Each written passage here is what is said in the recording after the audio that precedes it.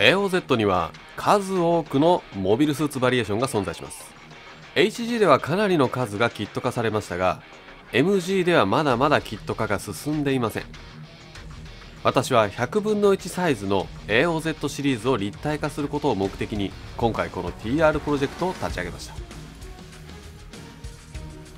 キット化されていないものを立体化するために私はスクラッチ技術を磨くことに決めました。まず一番最初に作ったのは100分の1のフルドド。発売されたばかりのガンダム TR1 ヘイズル回に組み合わせることでヘイズルラーを再現しました。残念ながらすぐにキット化されてしまいましたがメーカーより先に立体物を作ることができた。またスクラッチ技術を磨くことができたのは非常に大きな進歩だったと思っています。次の作品はハイゼンスレイ2ラー。こちらはベースになるキットが存在しないことでフルスクラッチでの初の制作となりました。プラ板を駆使して形状を組み上げていく中さまざまな問題に直面しそれらを一つずつ解決することで一気に技術が上がったと思っています。ラー形態にするためのフルドド2のパーツに関してはちょうど普及し始めたばかりの 3D プリンターを駆使して複雑な造形も簡単に立体化することができるようになりました。そして3期目となる今回の作品。私は大好きなヘイズルを素体としたギガンティックアームをチョイスしました。これまでの経験を生かしヘイズル本体の回収に関しては極力プラ材を使用。一方でギガンティックアームユニットに関してはこれまで扱いが難しくなかなか模型制作に活用することができなかった FDM タイプの 3D プリンターをフル活用しています。前回までの動画では本体の回収を主にお届けしていましたがようやく全体像を公開する準備ができましたのでここから先はマスターグレードヘイズル・アウスラ改めマスターグレードヘイズル・アウスラギガンティックアームユニットとしてお届けしていこうと思います。どうぞ最後までお付き合いください。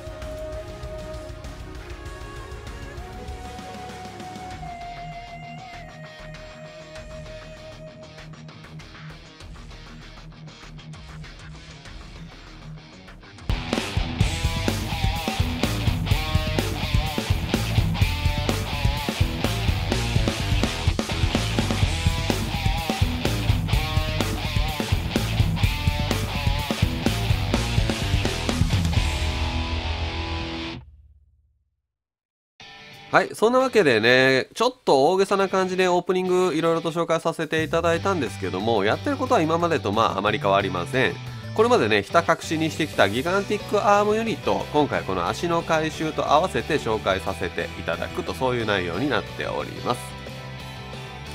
はい、じゃあね、さらっとね、足脚部の回収お届けしましょう。まずは太ももなんですけど後ろ側ももの裏側のパーツをこんな感じで切り離してプラ板で囲って形を変えていきます。まあ、腕でやったことのまあ簡易版みたいな感じですね。組み立ててみるとこんな感じになりました。前後で、えー、厚みに差をつけてありますので段差が出ます。さらに前側のパーツには切り欠きを入れてフレームをチラ見せしつつ筋彫りでディテールを加えていきます。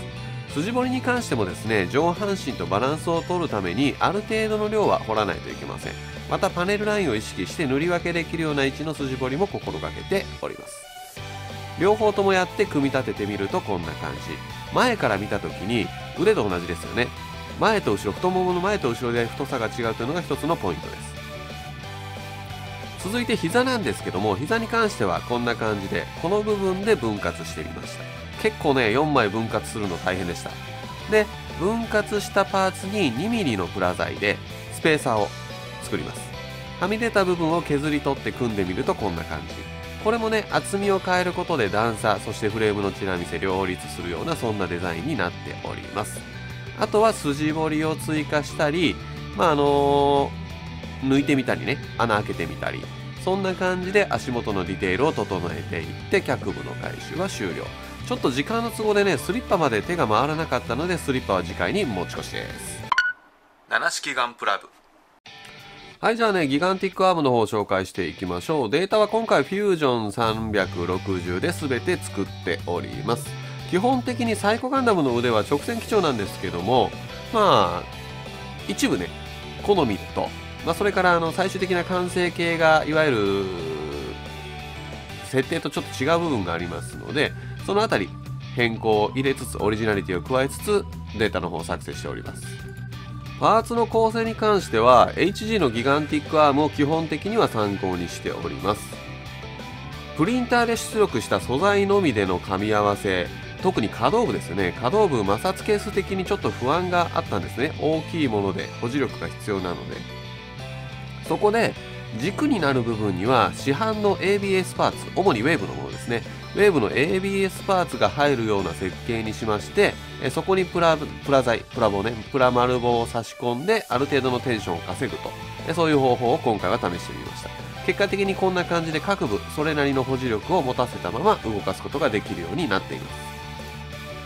指先だとか、まあ、ディテール系のパーツの一部はやはり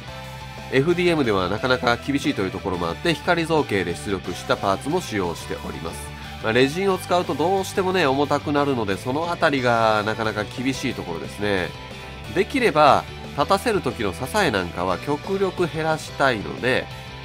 軽量になるように軽量になるようにということを考えて今回設計いたしました。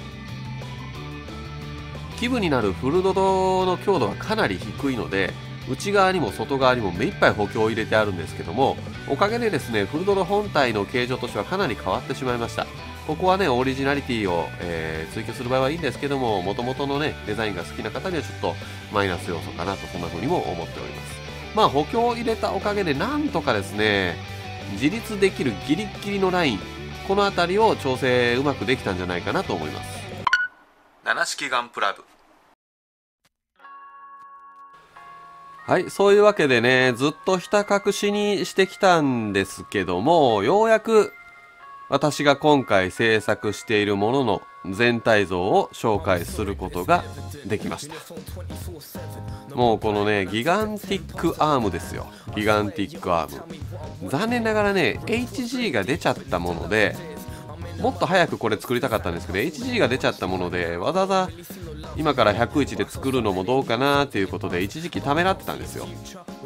まあ、今回ねこの好き勝手やるぞって宣言してやったことでその何て言うんでしょうね念願かなってようやく重い腰を上げてこれを作れたわけなんですけども。まあまあ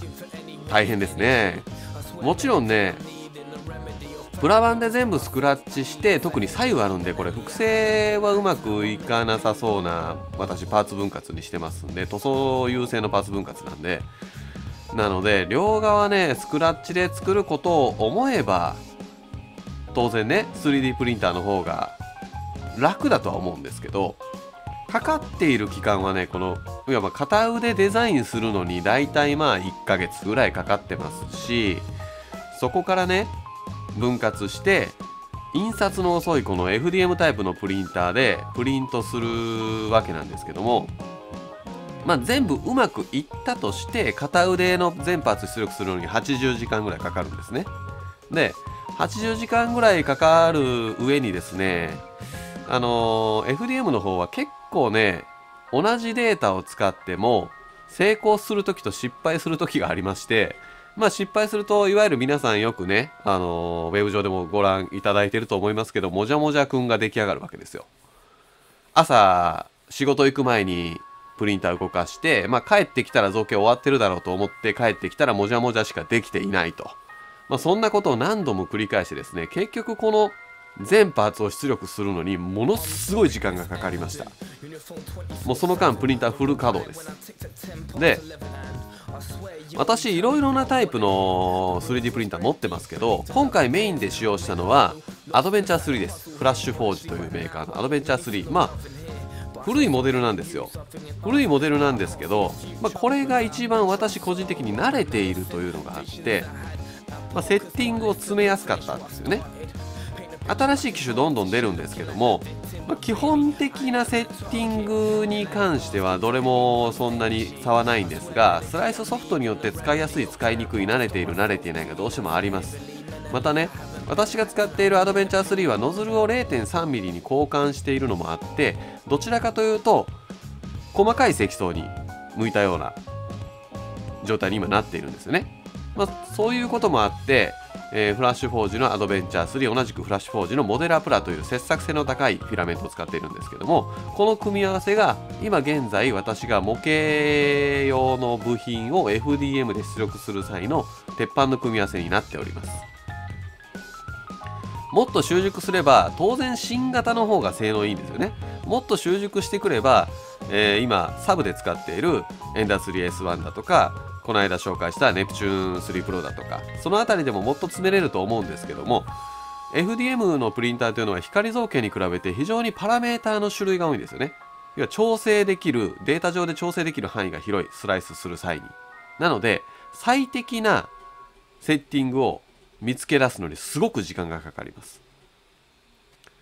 結局私もアドベンチャー3をこうやってまともに使えるようになるまでに1年ぐらい時間をかけてまあ常にこれをやってるわけじゃないですからいろんなものを使う分で習熟が遅いんですけどで1年ぐらいかけてちまちまちまちまとああでもないこうでもないセッティングこれがいいかなこれがいいかなっていうのをテストしまくってようやくここに落ち着いたわけですよね。まだまだ光造形に比べれば積層根も残りますけども光造形の出力で煩わしい洗浄だったりだとかずっとこれは言われてますけどもサポートの接続周辺の塗装面が凸凹になる塗装面じゃない。出力面が凸凹になる問題だとかね。そういうのをあまり気にせずに FDM のまま使えますし何よりも今回のように大型のものを作る際には重量の問題がどうしても出てきますので軽い FDM プラ板よりちょっと重いかなぐらいになるんですけど軽い FDM を使えるというのは大型のものを出力する際には非常にメリットになるんじゃないかなと思っております、まあ、昨今ね 3D プリンターを活用されるモデラーさんも随分と増えてきました。しかしですねまだまだ模型業界においては主力は光造形です。で私も光造形も使ってますんでどちらもメリットデメリットがあって使用用途によって使い分けるべきだとは思っているんですけどもやっぱり重量のことを考えるあとね耐久性ですよね。光造形のレジンは種類によってはあの経年劣化で割れてきたりとかね、えーすることもありますし摩擦で削れるのも早いのでそのあたりの耐久性を考えた時にこれから FDM もうちょっと使えるようにならないといけないんじゃないかなとそんな風に思っています。さあ好き放題やらせていただいております今回のヘイズルアウスラーキカンティックアームユニットなんですけども今後ですね、えーしばらくの間はちょっと面処理ですよね。特に出力品の面処理ものすすごく時間かかると思いますのでこれをやってある程度塗装できてサフが吹けるぐらいの状況になったらまた動画1本作ろうかなとそんな風に思っております。まあそれまではねちょっと私あの人気ないの分かっててどうしてもやりたいカメラの動画がありますので もう全然回らないの分かってるんですけどね、えーそっちの方もねちょっと進めていこうかなと思っております。そんなわけでまとめの話いっぱい話したいことあるので長くなります。いつものことなんですけども最後までご視聴いただいてありがとうございます。次回もどうぞお楽しみに。お届けしたのは七式ガンプラブでした。